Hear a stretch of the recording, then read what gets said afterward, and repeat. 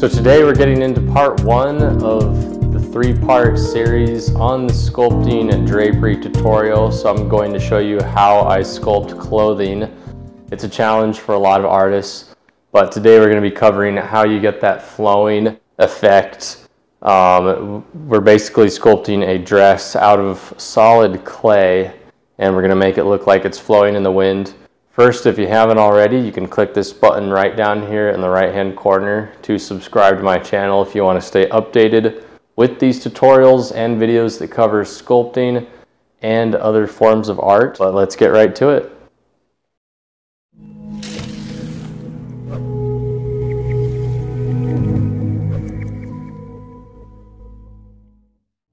I'll show you where we began on this sculpture. You can only see the head right now, but I'll give you a glimpse here of the finished product on the right side. Well, not quite finished, but getting closer there. So back to the armature, um, it took quite a while to pile on all that clay. You just got to work at it, and you can see here that it really starts to shape up. Now throughout this video, you're going to see how important it is to use good reference when sculpting. You may have noticed that the wrinkles in the dress are kind of flowing in the form of vertical lines. Now that we have enough clay in our sculpture, we need to imagine these lines on it. You may even want to mark them out on the surface of the clay with a knife or some other tool. You'll see how I study the fabric here because it sort of bows in on both sides, leaving these cavities. Now this is pretty difficult to create here because we need to keep in mind that we're going to be molding the piece when we're finished. I'll explain more on that later. So we need to keep in mind that we want this dress to look like it's being hit by a light breeze. To get this effect, you need to make a decision on where the wind will be coming from. I decided the wind would hit her right here, and uh, it was kind of tricky because the wind will split that fabric, so to speak. So the fabric will be pushed to one side, and then the rest of it will be pushed to the other. I could alternatively describe that as parting the fabric. Sculpting that contact point on her shin was the most difficult. I had to rework that a little bit. So remember we're going to be having some excess fabric on the other side of her where the wind is sort of coming off the fabric. This creates sort of a flip and I got to curve that at the bottom and then add a little bit of extra material to give that effect. This is some very tedious work. You'll see the tops of these ridges again on the clothes, how uh, they need to be really smooth. Now that's something that's really tricky to do, and right now our sculpture looks very rough. So I have quite a bit of sculpting to do to smooth that out.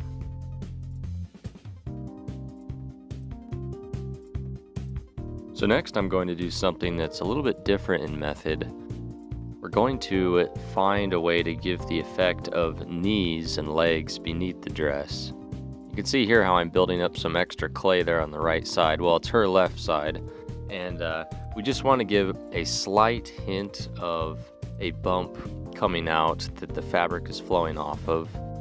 Now, another thing I did here was I started from the bottom looking at the side of the sculpture and then sort of measured upwards. And uh, we need to use a person for reference while we're sculpting this. So you go back to those measurements you find out how long the legs are and uh, how many inches or whatever you're measuring in. It is up to that knee. I kind of fast forwarded to a point where most of the dress is smoothed out here so we can really see it start to shape up and the whole piece is coming together. And we want to continue to remember that the fabric is hanging off those legs and then as the wind hits it, you know, you want it to give that feeling that it's lightweight. When I'm creating anything, I tend to get in the zone, so it's always a good idea to step back from the piece and take a look at it from different angles. Now that all that fabric is being pushed against the front, we need to talk about the backside. I had to imagine her legs and glutes there so I could see where the fabric could be hanging off. Now, I don't know if my drawing makes her look like a Victoria's Secret model, but it does give us an idea of the uh, legs underneath. The goal is to find those contact points on her right glute and on the top of her left glute where the fabric will be creating a little bit of a wrinkle as it flows off that. And keep in mind that wind is coming in at an angle So all that fabric will be collecting, so to speak, at the bottom near her ankle.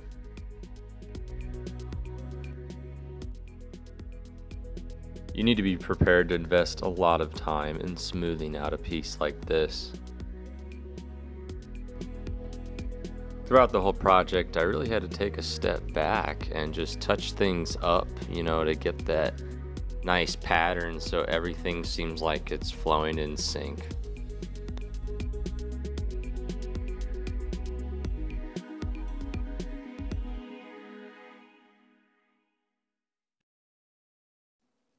Don't forget to subscribe if you haven't already because next week I'm going to be uploading my video on how to do those more detailed wrinkles and we're going to be focusing on the waistline because she will be wearing a belt and that belt will be binding the uh, fabric here and this is something that's even trickier to do when sculpting drapery.